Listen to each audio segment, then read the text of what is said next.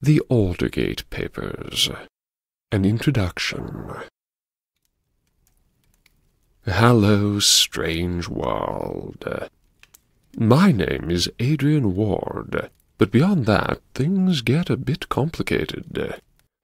This much I can say with confidence, that I am a student of the unknown, an enthusiast of the unusual, a beloved outcast, an obscure celebrity, a penniless billionaire, a reformed Harris Mundi, a human parasite, a partial amnesiac, and I am the fifty-first Vice-Chancellor of Aldergate University. At one point I seemed to be perfectly on track to live fast and die young, but I must have been living not quite fast enough, because when the crack-up came I survived it. More or less. Bad little Adrian sat on a wall, slipped, or was pushed. Either way, had a fall. Now all the king's horses are wondering whether enough of him's left to be put back together. Hmm. Hard to say. For the past few years I've been a total invalid, and more than once I've come within an ace of losing my grip on this mortal coil. However, against whatever odds, it does seem, lately, that I may be getting better. Not quickly, and there's no telling whether I can or should hope for anything like a full recovery. However, I am enough myself again to feel a sense of duty. I have a job to do.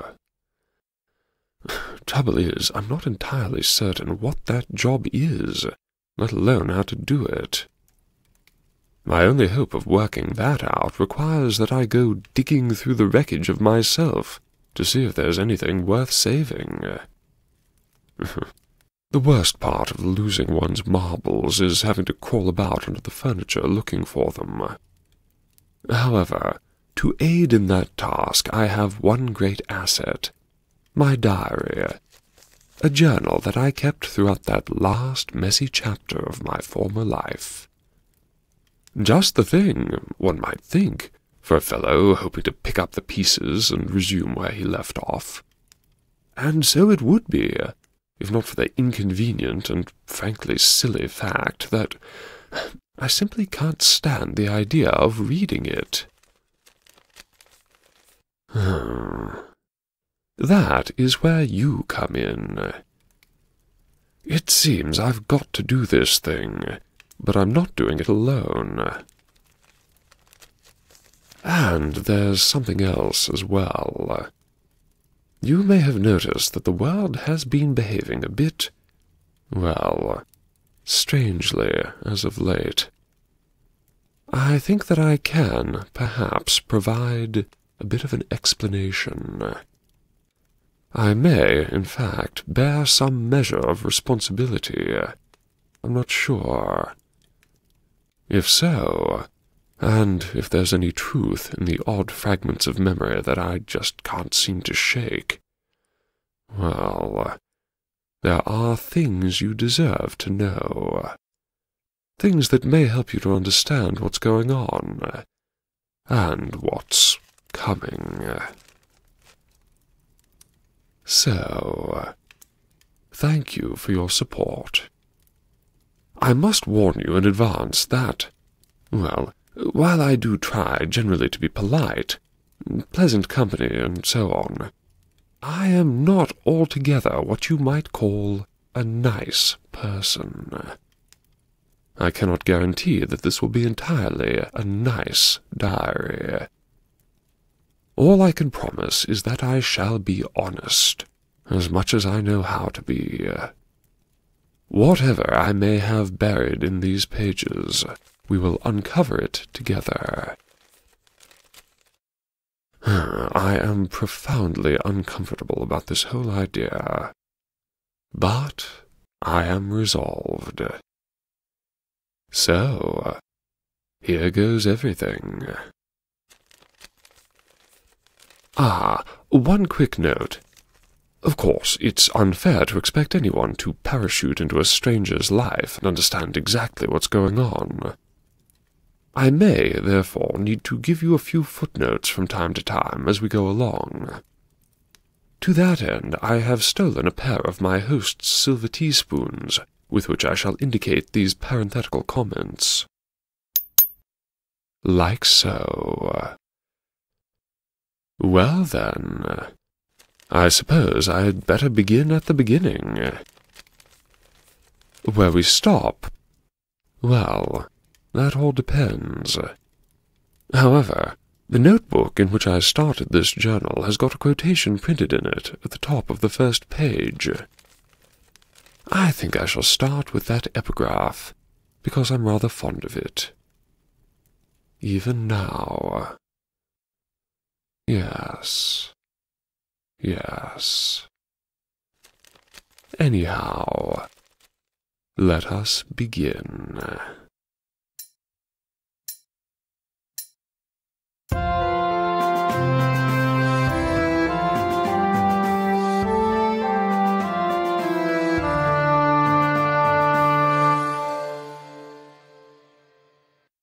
The Aldergate Papers Epigraph Our most essential task, I think, is to correlate all the contents of human minds. Once upon a time we knew nothing and understood it all. Now we know so very much that the most brilliant brain cannot hope to comprehend even a single piece of the great jigsaw puzzle in its entirety. And yet, our goal, the end and aim of our efforts, must be to fit all the pieces together. We seek that revelation which has always been accessible to our sight, but never to our understanding. What shall we learn upon that day when at last we look upon our universe with educated eyes, and, observing nothing new, see it all for the first time? Sir Adrian Ward, K.B.E scholar of Aldergate University.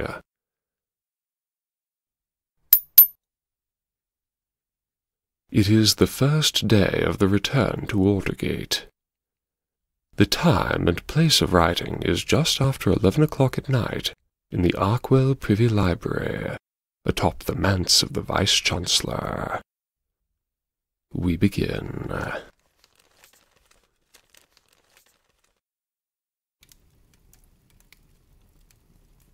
Well then, Self, old boy, here's a fine start to your latest adventure.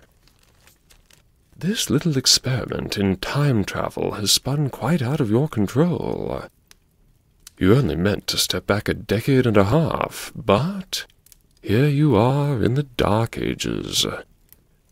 If this mouldy pile loses power every time there's a bit of rain, it looks like hard times for you at Aldergate. Back when you were at school here, it could rain for weeks on end.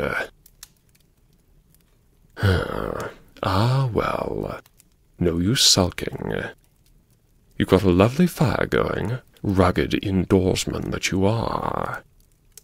Still a bit damp, but you can feel your nose and fingers again. Hypothermia shall not claim the life of Adrian Ward. No, that duty and pleasure will fall to your old friends, once they make up their minds to do it. Although you've nearly cheated them twice this week already. First you come within an ace of drowning, and if your reflexes were any less cat-like, you'd have broken your neck just now. That would have been unkind of you, after all the trouble you've caused, to go smashing a head that's so highly in demand. Hmm. Well, if the bastards want you, they'll have to get a move on. At this rate, you'll be struck by lightning or eaten by ghosts before the night's out. Do ghosts eat people? Oh, soon see. Look at this old place. Must be crawling with ancestral spirits. Not your ancestors, of course. Well, suppose they might be, actually. They're your spirits now, at any rate. Yes, it's all yours now. All of Aldergate. Thirty colleges, forty-odd billion pounds sterling in endowment funds, nine centuries of tumultuous history, and one unsolved murder. All for little old Adrian. You are the ruler of all that you see. Which isn't much at the moment. Hmm, and it's the things you can't see you've got to worry about. Yes. Also wrist cramp. Whoever the maniac was who invented this notion of writing out words by hand, you curse his name and hope he chokes. Perhaps you can get Baz to find you a laptop. Something safely second-hand and institutionally anonymous. That ought to be all right, surely, as long as you stay offline. And never take it out in public. And encase it in lead, and only operate it inside a Faraday cage whilst wearing dark glasses and a false moustache. no, alas. No mucking about, not this time.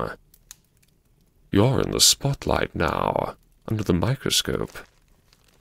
All eyes on Adrian. Can't get careless. If you must incriminate yourself, and it seems unavoidable that you must. Best to do it in hard copy. No such thing as digital security these days, and nobody more to blame for that than your own miserable self. Self. So, tally-ho for the ink and paper.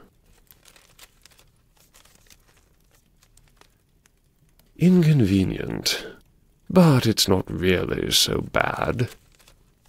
And think how romantic it all is. All alone in this magnificent library, swaddled in your stolen robe and propped up in this grand old wingback chair. Not a sound but the crackling of the logs on the hearth, the scratch of your pen, and a fine November thunderstorm pelting away outside. Well, mostly outside, you really ought to just tear out these first few soggy sheets before you chew right through them. But how often does a chap get to start his journal on a page that's got his own quotation printed at the top? Hmm. Is that vanity, self, old boy? The towering ego of the clockwork butcher? Well, that's hardly the worst they'll call you if this all goes tits up. Oh, ah, yes. Speaking of which, you'd best shake hands with Mr. Deadman before you forget.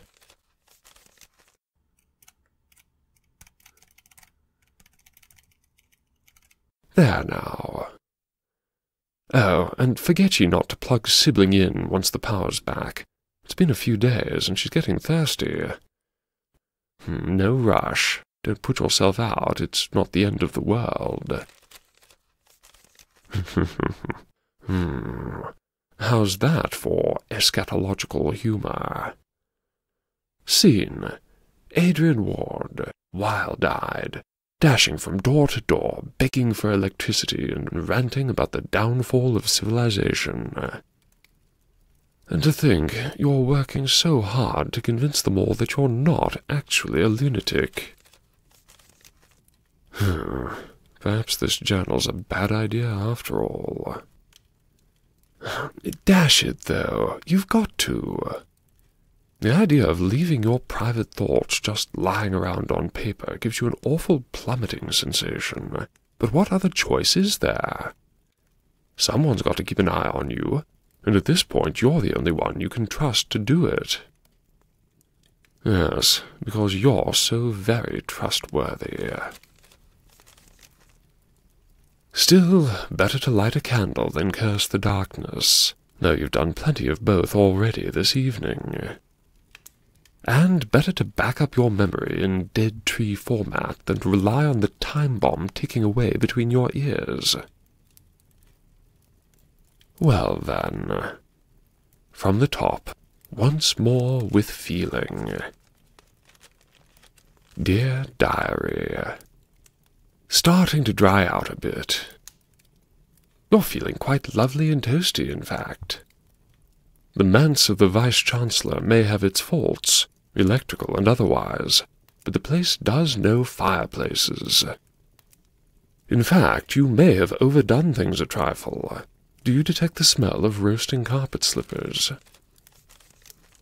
Ah, well, extremism in the pursuit of coziness is no vice, and when a chap can barely hear over the chattering of his teeth, he stacks logs first and asks questions afterwards. Getting him lit was another matter. Sir Reggie has left great heaps of these dismal student petition forms on the reading table, and you were strongly considering using them for kindling. That would have been a pretty first act as VC, burning the hopes and dreams of your students. Luckily, when you went digging into the heap, you found a quart of Ronson fuel buried underneath.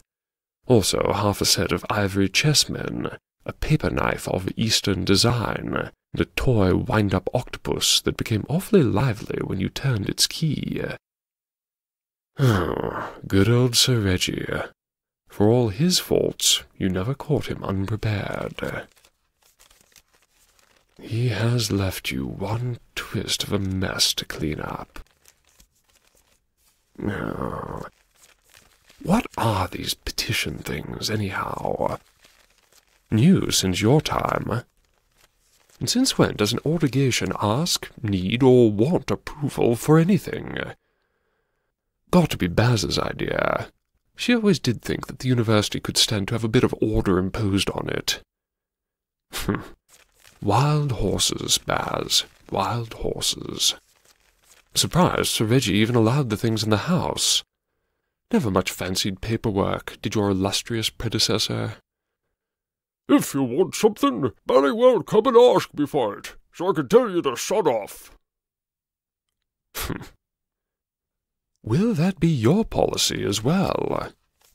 You really must start thinking like a VC what to do with these petitions, to say nothing of those that may come in future. Up in smoke? Or will you rescue these poor hopefuls from library litter limbo? Let's have a look.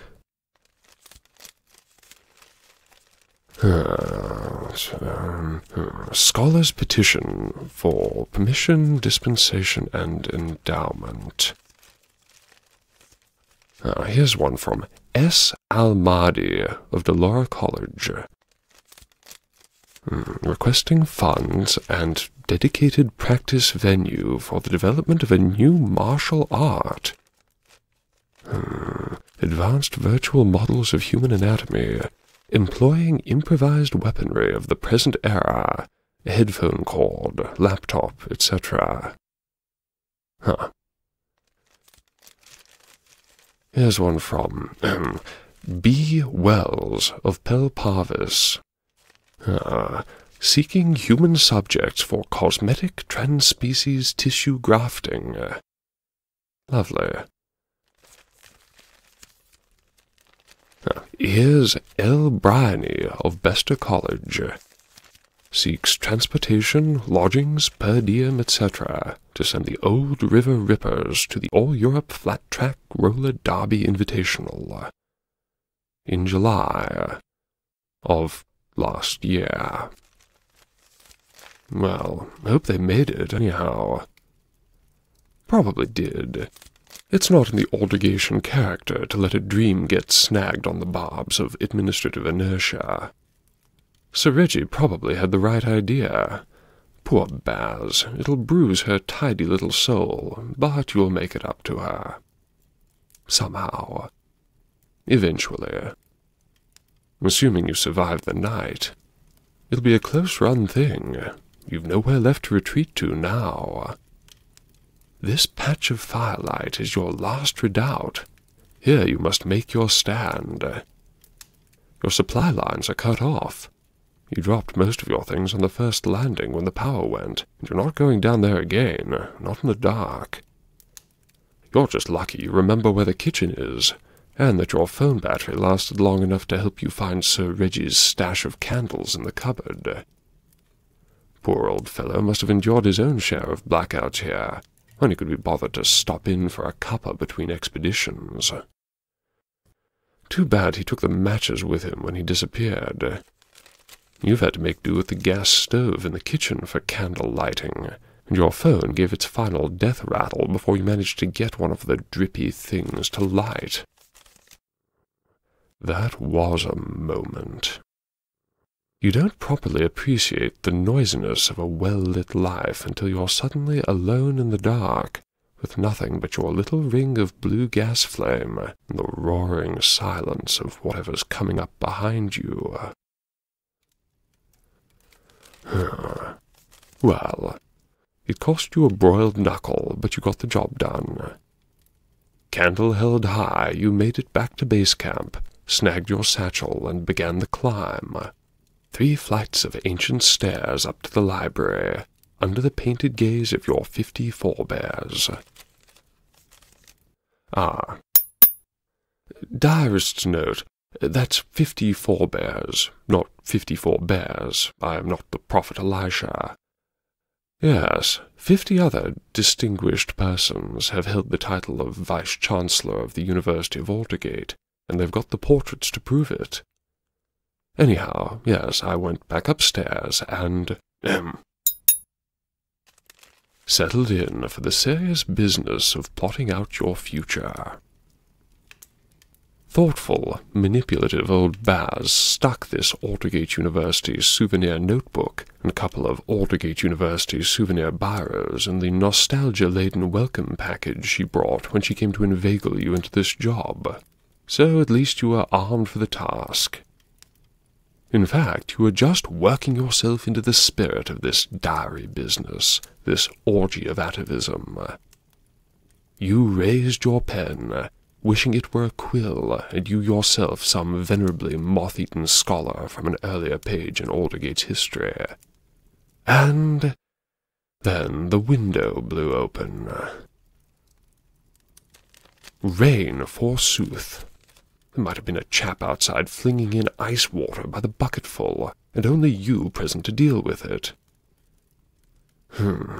Upon reflection, there's probably a pole with a hook on it or something. But you didn't think of that at the time, and you'd never have found it if you had. The manse library has got one of those roly ladders, or at least it had fifteen years ago, but if it's still here, it's buried somewhere in the sagging mountain of cardboard boxes with which Sir Reggie has thoughtfully clogged up the place. In the end, you had to climb up a tallish set of shelves, and then you had to climb it all over again, after your encounter with that beastly great owl that peered in at you suddenly when you reached the top. Nearly saved your old pals the trouble, and it's a marvel you didn't at least fracture something. Anyhow, the awful white-faced thing had gone by the time you regained the summit. Lucky for it. Words would have been had. Hmm. By the time you got the window closed and fastened again, you were soaked to the skin, and of course your candle had long since died of heart failure. Hmm, so you did what had to be done. The Scarbell one-button houndstooth is lovely for sleeping in on long plane rides, and you rather fancy yourself in grey flannel, but it takes on water like a sponge, and then clingeth closer than a brother. So you peeled off your wet things and staggered kitchenwards again, in the dark, naturally, and muttering darkly au naturel. You had to stick to the walls or lose yourself entirely. And twist if this manse nuisance didn't grow tenfold just to be difficult. Took fully five minutes of fumbling just to find the stairs, working your way back through the library along Sir Reggie's cardboard box rampart. Add another week spent picking your way down the first flight in the pitch black, then another year and a quarter spent lingering on the landing, listening to that distant tapping noise that it seems you're going to be living with now. You deranged a dozen portraits and groped a throned statue of Cybele on your way down, not to mention crushing a toe or two on your own bloody suitcases. Then, just when you thought you'd made it to the kitchen, you got hold of the wrong door and found the basement. Cue a Warner Brothers moment of wondering where the floor had got to, and then you were off down yet more stairs, arse over tea kettle. Again you escaped injury. Fortune smiles on drunks and fools, but you landed in something wet, put your hand into something vile, and finished by crawling back up, every inch the dashing visionary from your photo spread in Fortune magazine. well, you found the kitchen again, and used your bare shins to smash up the furniture for a bit before you finally located the stove. So, there's a start your new career, eh, self-old man? Let it be a lesson in humility for you. Whatever you may accomplish in your time here at Aldergate, remember that you began your tenure blind, bruised, naked, shivering, and bloody furious. Respice post te, hominem te esse memento. Memento mori. Not that you need reminding. There's too much death about these days. what you could use is a cup of coffee, or three. It must be pushing midnight now, and you were up with the lark this morning. Do they have larks in Manhattan? Would you know a lark if you saw one? They're blue, aren't they? Or are you thinking of swallows? No, they're the ones with the tails that... Stop. Stop it. All right, look, you've never kept a diary before, so it's natural you're no good at it. But at this point you're simply rambling. Let's get one thing clear ab initio. This journal is for three things, and three things only. 1. A record of events as a backup for your questionable memory. 2. A case file to track the state of your doubly questionable health. And 3. A drafting board for this little scheme of yours. Yes. And the feathered fauna of Central Park play no part in any of these. Unless it turns out you've just been allergic to pigeons all this time. that would be a thing, wouldn't it? And it's not entirely out of the question. Environmental triggers, they're called. Perhaps there's something in taxi exhaust that's been throwing your brain out of gear. Hmm. it's a happy thought, at least. You lost fifteen minutes on the ride to JFK this morning. Yes. Be precise now. These are case notes after all. all right then. 5 a.m. Eastern Time. Wake up, shower, shave Take final inventory. Suits, socks, skivvies, shoes, satchel, sibling. Toothpaste, toothbrush, toiletries. Face stuff, hair stuff, war paint.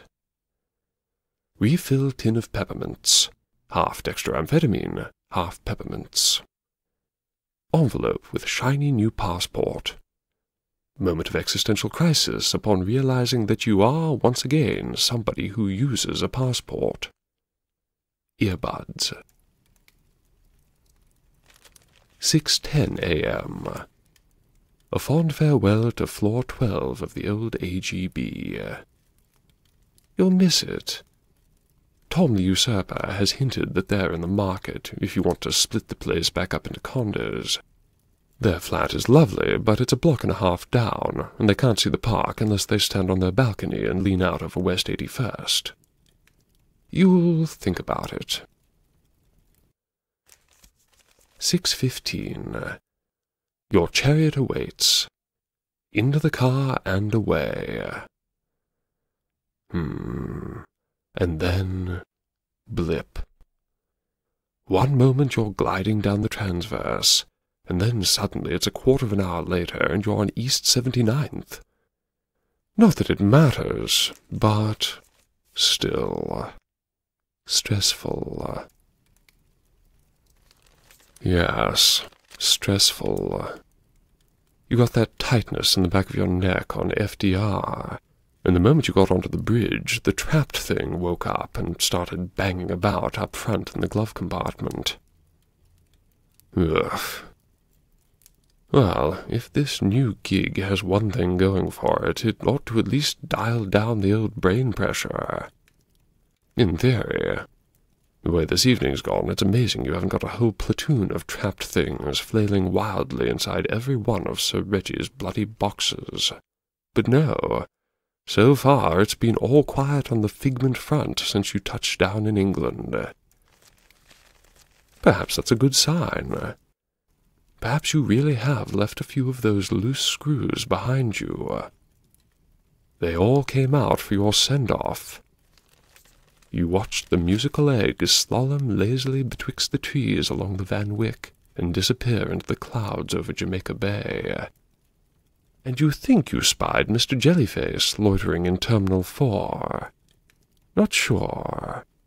At that point, you were too busy congratulating yourself on that citation-needed crack you'd inflicted on the fellow who'd come to escort you. Anyhow, you knew better than to look too closely. One walkabout in a morning's journey is quite enough, thanks. If it was your last, you will not be sorry. Hmm. Too much to hope for. But, well, so good so far. You've been present and correct ever since you slipped the surly bonds of earth and left the new world behind you. Well, you were unconscious for most of the flight, but that was deliberate. Who'd be an actor? It really is exhausting being on stage. You could practically hear the jet groaning under the weight of the hidden microphones and covert cameras and things. You'd have had more privacy flying commercial. Chin up.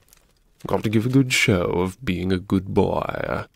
So, half a raspberry yogurt and a supreme effort of will, and you didn't wake up until touchdown at the Gatwick Annex. Smooth sailing from there, or near enough. There was that business with the disappearing driver, but virtue triumphed at last. to think you left this place with nothing but a dream in your heart, a USB drive in your pocket, and a plane ticket that cost more than everything else you owned put together. Poor little orphan Adrian. Well, I suppose you were twenty by that time, but still, walking all the way down to Quelling's Mumley for a minicab to the airport. How times do change. And they've finished the Aldergate bypass. You came in from the west this time. It was a little after 8 p.m. Greenwich Mean when you saw the signs for Brindle on Fay. You'd never have recognized the place, not in a thousand years. You'll have to come back by daylight for another look. Shocking how much it's built up. You passed half a dozen shiny office blocks and a lineup of high street shops right out of Le Premier Arrondissement. Fancy, sleepy little boff. Back in your day, the village was still mostly clustered up around Fay Water. Now it's run down the hill and slopped right over the Aldergate Road. Ah, but never fear. The ancient ways are remembered yet, and carefully observed. one thousand girds from the bounds of the old city, and not a rod closer, the fresh erections of glass and steel end abruptly. To your left, a sweep of winter meadow. To your right, the broad, majestic Alder makes its silent appearance, as though it had its headwaters in the cluster of haute cafes you've left behind. Ahead, the toothy archway of the western Barbican stands astride road and river both. Beyond, above the ancient wall, rise the towers of Aldergate University.